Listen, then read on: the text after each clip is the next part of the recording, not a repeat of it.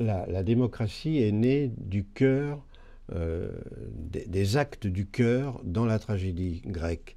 Il y a les héros, Oedipe, bon, tout ça, Antigone, qui expriment leur extrémisme parce qu'ils vivent des situations extrêmes. mais il y a le cœur le cœur antique, comme on l'appelle. Ils ont d'ailleurs, ils sont tout gris, ils ont des masques, on ne sait pas qui c'est. C'est pas des héros, c'est un, et ils parlent et ils analysent ce qui se passe avec les héros, avec euh, Oedipe, avec Antigone, etc. Et entre eux, ils discutent. Et Nietzsche dit la démocratie, elle est née là. Elle est née sur la scène du théâtre tragique, dans le cœur antique. Elle est née de ces personnes qui n'étaient rien, mais qui s'étaient arrogées le droit de commenter et d'analyser entre elles ce qui arrivé aux héros.